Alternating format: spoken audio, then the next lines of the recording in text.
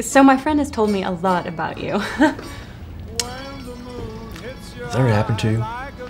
When someone's looking at you like they think they know you, like, you know, maybe you're someone famous. I work so hard at the gym on this great body. And women, they notice my eyes. Yeah, the ring, huh? It's because I'm a Leo. You should go to my gym. There's a trainer there that works miracles. Well, she can make you hot. Want to get away? You are now free to move about the country.